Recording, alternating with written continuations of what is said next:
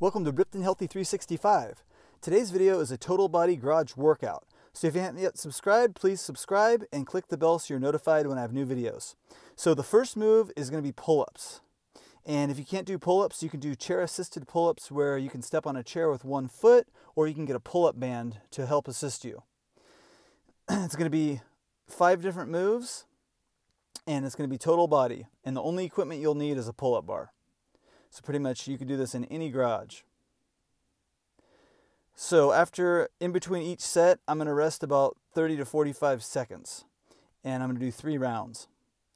After pull-ups, we're doing a push, uh, push movement. So first I got plank to push-ups.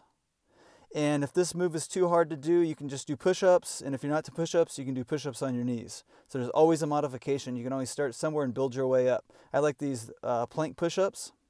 It's a good upper body and core workout. Really gets the heart going.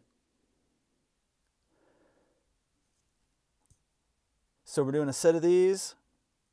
So we did a pull pull movement, then a push movement.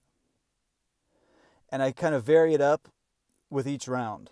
Like I said, I'll do three, sometimes four rounds of this and vary it up each time. So the next movement I could be doing triangle push-ups or wide push-ups, something else.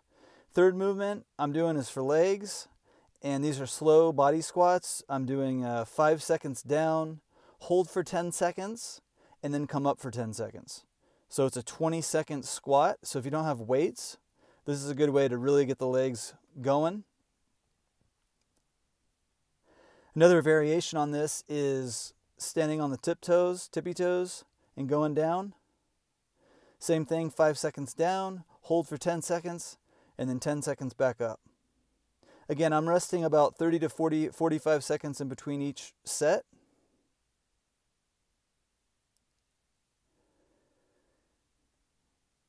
And these do around four or five of these to get the legs going, gets the heart going.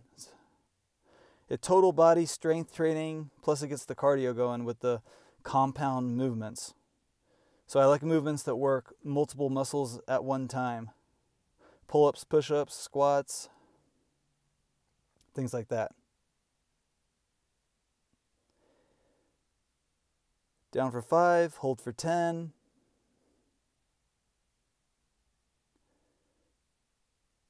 Then coming back up for five.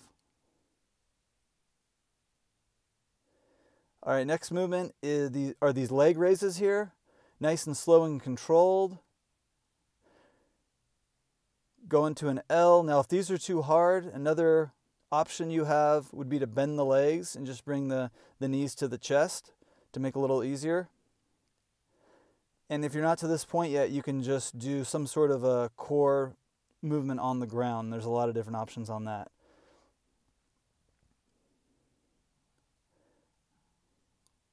I want to keep these nice and controlled using the core to lift up. It also works out the shoulders too.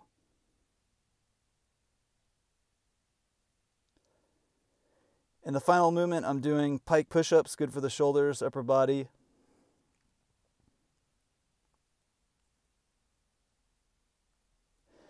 And this is gonna round this is gonna finish it off here. So thanks for watching the video. Please subscribe.